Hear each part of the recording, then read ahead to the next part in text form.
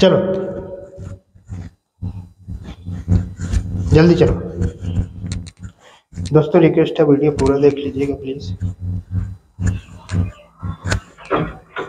चलो।